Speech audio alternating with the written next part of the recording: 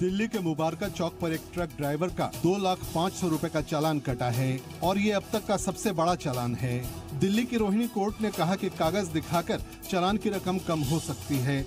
Truck driver से छप्पन हज़ार ओवरलोडिंग के लिए पाँच हज़ार रूपए ड्राइविंग लाइसेंस नहीं होने पर और दस हज़ार रूपए रजिस्ट्रेशन सर्टिफिकेट के लिए लिए गए हैं।